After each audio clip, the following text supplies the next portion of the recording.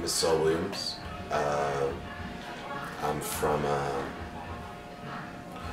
here, from this country, this planet. I was born in New York, and uh, I write poetry, music, theater, and stuff like that. 2,100, uh, probably 2,100 uh, 70, the 2170s, I would like to uh, be transported to that if I, if I get to choose. Yeah. Guilt is a tool. I don't fuck around with guilt. I have lots of pleasures though. the first album I owned was. Uh, Run DMC. Uh, isn't the name of the first album Run DMC? Yep. Yeah. Well, if money were not an object, I would uh, I would buy just about every new drum machine that comes out. I would buy a cello.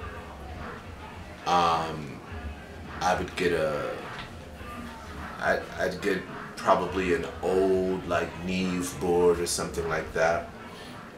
Um, oh, and I'd get that other thing that uh, I can't think. I'm blanking on the name, but uh, I've seen a few people play with it, like Bjork, for example. That glass thing. It's another like drum machine type thing, but it's totally digital and glass, and you move things around. Uh, I don't know what it's called, but yeah, I'd, I'd get all the the space age, like you know, mothership console sort of stuff, as well as a lot of old stuff.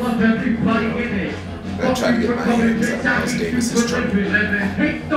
Wonderful.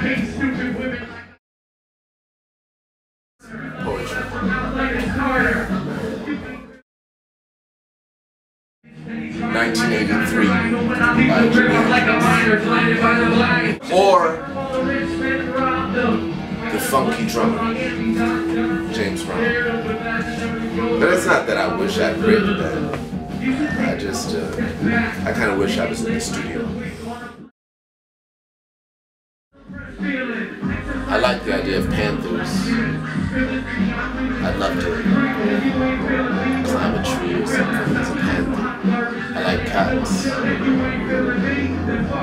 I love serpents, but I don't know if I'd want to be one. But by choice, I'd have to say a bird because I get to fly, right? So, um, so I, I'd be a, an eagle in Rwanda. Well, you know, it's hard to say the artists that no one else has heard of because if that's the case, then I probably haven't heard of them yet. but um,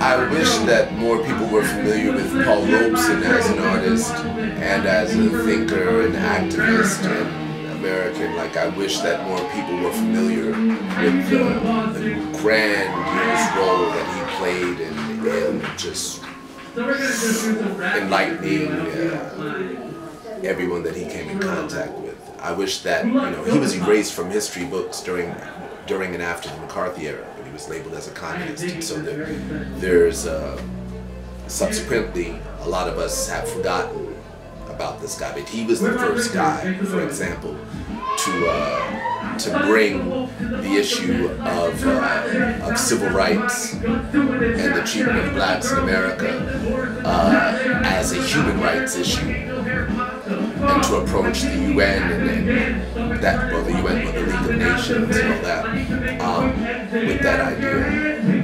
And what he did musically, like I love, I love the story of how he sang on the front lines during the, the Spanish Revolution and what you. Yeah, no, it's, it's quite a story. My father, my uncle, and, uh, and Bradley Manning. My father and uncle are dead. Uh, Bradley Manning just because he's at the party that he's not locked up, right? I'd co-bill with uh, the Kasai All-Stars from the Congo. Or now if we were to go back in time, I mean they still exist, but I'd love to do something with like Olodum from Brazil. That would be awesome. Otherwise, uh, bring me back to like 1982 and let me like, uh, I, not that I really want to perform with them, I just want to be at the show, but I'll perform with them so that I can be at the show, and I'll be with like Bad Brains and CBGBs.